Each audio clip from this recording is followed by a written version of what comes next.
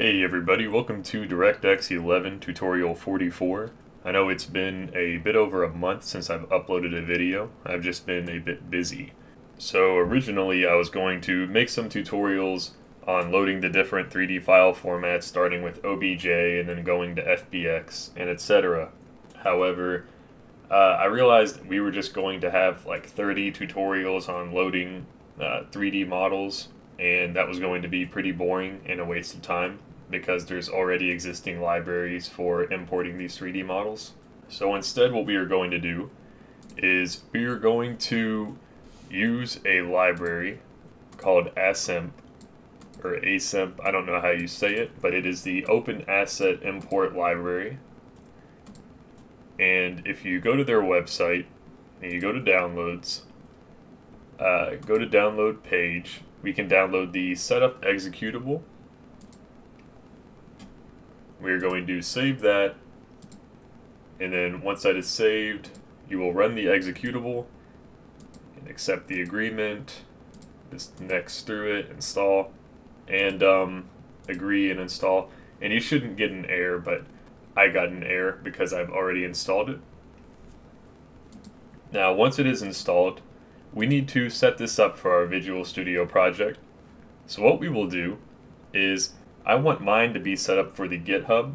So first I will find the, let's see, it's in program files. I will find the ASSIMP folder and I'm going to copy, inside of the includes, I'm going to copy the ASSIMP folder and then back in the uh, our solution in the includes folder, I'm going to paste this ASSIMP folder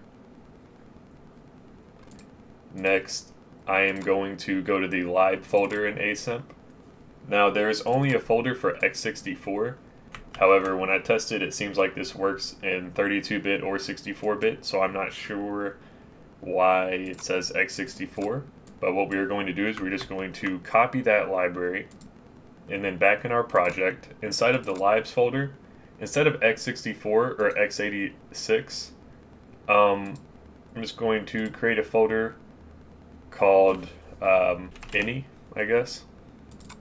And I'm going to paste that right here. Next, we need to get the DLL. So back inside of ASSIMP, if you go to bin in x64, there are these three DLLs, and we need all of them. So when we go to where our EXEs are generated, so for example, if we're doing x64 debug, now this is the folder, um, I've already pasted these here, but um, I'm just going to put these for now in the x64 debug folder. If you want to run it in release, you'd also have to paste it, you know, in the release folder. And if you wanted to run it in 32-bit, you'd have to do the same thing. But I don't want the GitHub repo to get too large. So I'm just going to have it uh, in the debug x64 folder. And you'll have to manually copy it if you want it in the others. So now let's go into setting it up for the project. So in our project, we're going to go to Project, Properties, and up in our directories, let's see, we don't need to change the includes, that's the same. However, for the library directories, we need to add the um, new library directory for any. I'm going to select that and I actually need to modify that to use the uh, relative directory with that macro. So let's see. So it should look like this. And let's just make sure, look at the evaluated value. And yeah, that looks correct. So I'm going to copy that, hit apply, and set that up for the other platforms and configurations. So let's go to release, and go to library directories, add that, apply, and then go to uh, Win32, which it will close the properties page, and we have to reopen it, and do the same thing, and then for debug.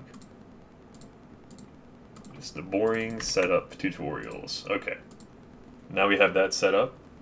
So next what we have to do is, there's a couple things. So we could manually link to the library like we were doing before.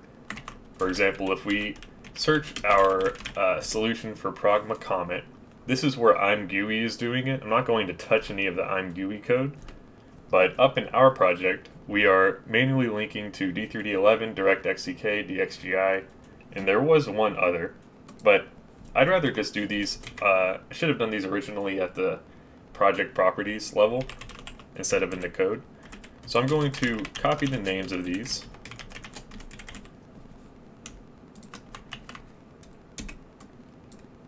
I'm going to take out the code where we are doing it with the pragma comment.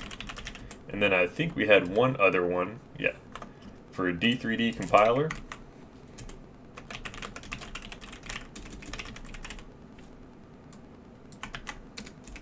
So I'm going to take that out as well, and just to make sure, okay, that was all of them. So we're going to do this at the project properties level. So we'll go up to project, we'll go down to properties, and we're going to do this for all configurations, for all platforms. And of course, we have to reopen it when we do that. And if we go to linker, and then we go down to input, for the additional dependencies, we can link to the libraries right here. So we just put in the library names, and there's one more library that we need to add. So if we go back to our solution directory, and we go to lives and any, this is our new library, the ASSIMP library. So we are going to add that library in and press OK, apply, OK, and now we should be good to go. Let's just, I'm going to test this in debug x64 and see that it still runs. Okay, and it still runs just fine. So we have set up our project to use ASSIMP and in the next tutorial, we are going to actually look into loading uh, the positional uh, vertex data in the indices to load a uh, 3D model.